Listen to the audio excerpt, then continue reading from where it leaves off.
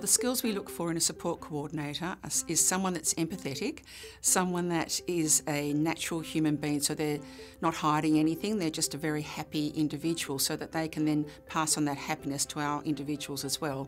Because when we have these individuals in our company, we like them to be the best that they can possibly be, so that they don't so that when they go home to their family, they go, wow, like they've had a fantastic day. Um, everyone's obviously enjoyed their company and they've fitted in with the whole group.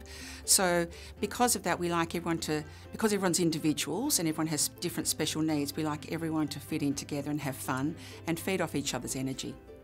Some of the main challenges for this role is it's quite tiring and quite exhausting because you do have different individuals with different needs and requirements. So you need to be aware of the exhaustion that can create and just have energy.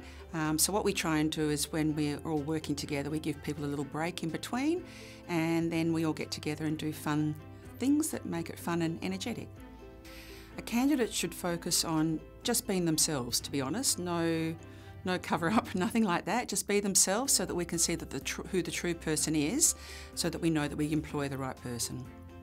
Well, the advice I'd give for someone considering to be a support coordinator would be to yeah, think about their, their heart, their personality that they give to people um, and make the job fun and just engage each individual person and just make sure they're enjoying themselves.